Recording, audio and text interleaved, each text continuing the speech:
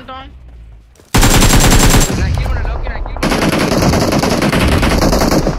Enemies ahead.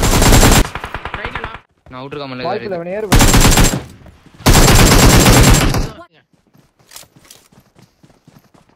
Right அவன் தாடி கிட்ட.